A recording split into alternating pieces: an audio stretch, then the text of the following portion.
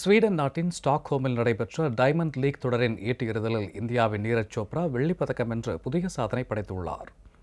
Stockholm diamond லீக்கில் பங்கேற்ற நீரஜ் சோப்ரா இறுதி சுற்றில் எண்பத்தி ஒன்பது புள்ளி ஒன்பது நான்கு மீட்டர் தொலைவிற்கு ஈட்டியை எறிந்து தமது முந்தைய சாதனையை முறியடித்தார். இரண்டாம் இடம் பிடித்த அவருக்கு வெள்ளிப்பதக்கம் கிடைத்தது. முன்னதாக அவர் எண்பத்து ஒன்பது புள்ளி மூன்று பூஜ்ஜியம் மீட்டர் தூரம் ஈட்டி இறைந்ததே சாதனையாக இருந்தது. இந்த போட்டியில் உலக சாம்பியனான ஆண்டர்சன் பீட்டர்ஸ் தொண்ணூறு புள்ளி மூன்று ஒன்று மீட்டர் தூரம் ஈட்டி இறைந்து தங்கம் வென்றார்.